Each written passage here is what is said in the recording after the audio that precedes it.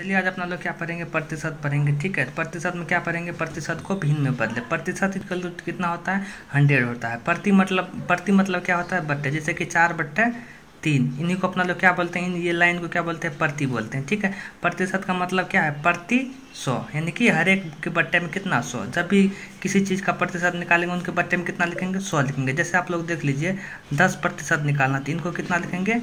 दस बट्टे सौ। यानी कि दस से दस कट गया, ज़ीरो से ज़ीरो कट गया तो कितना बचा?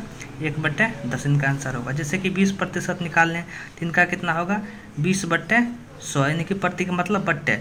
ज़ीरो से ज़ीरो कट गया, दो पंचा दस, यानी कि एक बट्टे पाँच। आप यानी कि तीस प्रतिशत का निकाले तो कितना हो जाएगा आपका? तीस बट्टे सौ, यानी कि ज़ीरो से ज़ीरो गया, कितना बचा? तीन बट्टे पाँच। आई होप यहाँ तक समझ आपको कोई दिक्कत होगा इनके बाद। लॉन्ग वीडियो में मिलेंगे तो आज के लिए इतना